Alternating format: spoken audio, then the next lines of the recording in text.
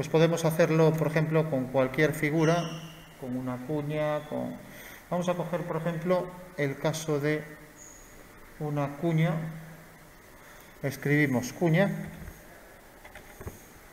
enter, y marcamos dos puntos opuestos de la base. ¿no? Pues cojo este punto, cojo ese y le doy una altura. Como veis es un prisma triangular. Vale, tenemos ya una cuña. Solo con la orden cuya. Y ahora lo cortamos para variarlo un poco. CO, que es cortar, enter. Designe objetos, me va preguntando todo, con lo cual no tengo que recordar nada. Enter.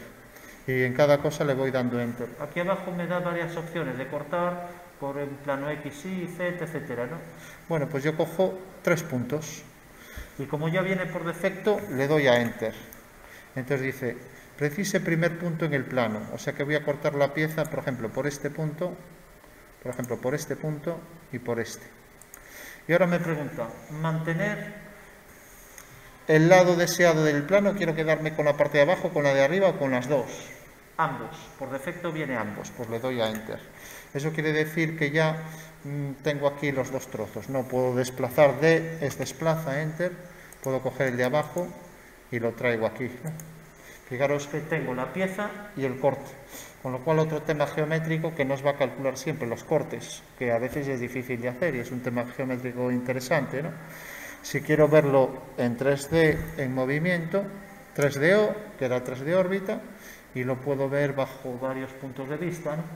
Bueno, tengo la pieza cortada y voy a hacer el desarrollo de esto. ¿no? Evidentemente, pues podría hacer el prisma entero y luego hacer este trozo, pero bueno, es mejor hacerlo por partes. ¿no?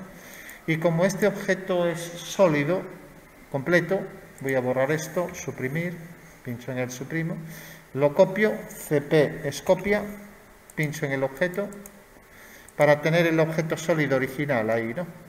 Y entonces ahora DP era descomponer, DP Enter, pincho en este, Enter.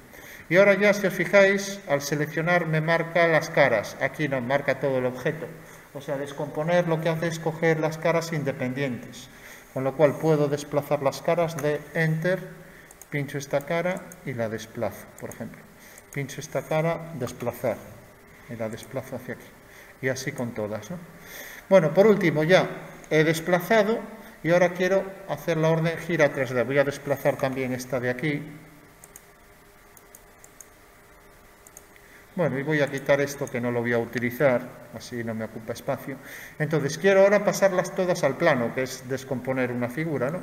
Voy a alinear esto con esta cara, nada más que eso, para ponerlo en el suelo. Entonces, ali, alinear, entonces le digo, esto alinear, este primer punto hacia aquí. Este segundo punto va a venir hacia aquí. Y, por ejemplo, un punto de aquí cercano, pues va a venir hacia aquí. Vale, ya, ya lo alineo, lo desplazo de Enter y ya tengo la primera cara girada. Este punto va a venir, por ejemplo, aquí. A ver, lo giré, lo desplacé mal, desplaza, me acerco con la ruedecilla, este punto va a venir a parar aquí. Vale, tengo ya esa cara hecha. Estas dos basta con girar las 90 grados, ¿no? Pues ya está. Gira 3D, otra orden, pincho aquí. Entonces, dos puntos. Pues este como eje de revolución y ángulo rotación 90. Vale. La verdad que viene hacia el otro lado, ¿no? Bueno, aquí, enter, pincho aquí y ahí tengo la simétrica. Vale. Borrar objetos originales, no. Borro este y ahora desplazo este de enter. Bueno, parece algo lioso, pero bueno, si os fijáis con unas pocas órdenes vamos haciendo todo. Ya tengo dos caras. Esta la giro 90 gira 3D, pues esto pincho en el objeto, enter, a ver, enter, gira 3D, pincho en el objeto, enter, dos puntos, pues o si quiero el eje de rotación es el X, enter, y punto del eje X este y ángulo 90. Vale, ya tengo otra cara, desplazar. Y traigo esta cara aquí. Esta cara lo mismo, la desplazo de, oh perdón, la desplazo, alineo, ali, enter, pincho en la cara, este objeto, este punto final lo traigo aquí, por ejemplo, este lo traigo aquí, y por último traigo, por ejemplo, este final aquí a uno del medio. Bueno, ya tengo esa cara, ya solo me queda una, desplazar, de Enter y coloco ahí la figura.